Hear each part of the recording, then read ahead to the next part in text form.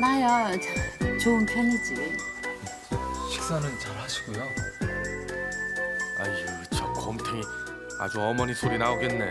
아예 눈물까지 쏟아라. 안녕하세요. 자 일주일래요. 아니 그게 사실이야? 어. 그럼 셋째가 아들인가? 혹시 애쓰는 거 아니야? 근데 시걸 씨 바라보는 눈빛이 참 다정했거든요. 오빠 보시는 눈길도 평범하진 않았던 것 같아요. 시오란 이름 찾는 사람 있어? 응, 초등학교 1학년 때 짝꿍. 걔는 언젠가 한 번쯤 만나보고 싶었어.